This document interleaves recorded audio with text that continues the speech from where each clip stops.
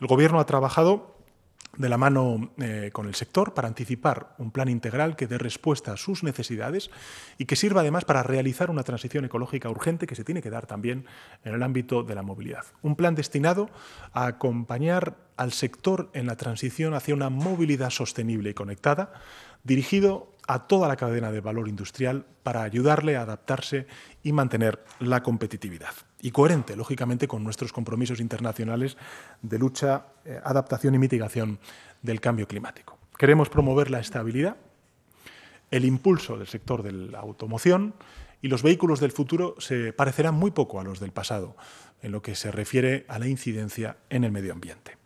Les avanzo que ese plan incluye medidas para preparar la industria en en primer lugar, inversiones y reformas legales. En segundo lugar, con un estímulo a la investigación y a la innovación. En tercer lugar, con la fiscalidad que le dote de una mayor competitividad. Y por último, con una formación y cualificación profesional para dotar de recursos humanos a la industria.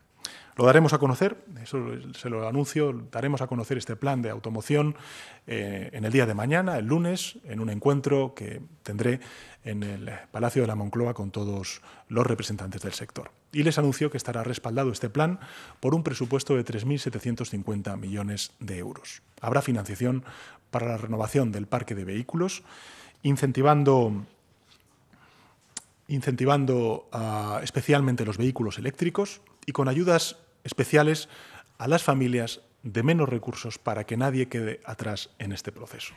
También resultarán beneficiados los eh, empresarios, los trabajadores y trabajadoras autónomos a través de los ahorros en combustible que comportará la renovación de su flota.